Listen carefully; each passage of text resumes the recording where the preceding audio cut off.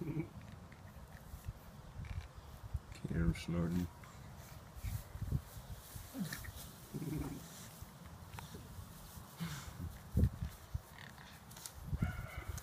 it looks like a little critter that like Rocco got wet and then it just kind of like fell off of him.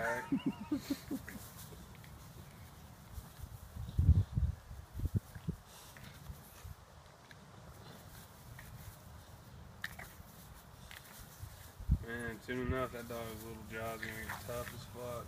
Yeah, I think it'll be better though, because then he won't have razor sharp teeth. True. But I remember when Avery had that little bulldog,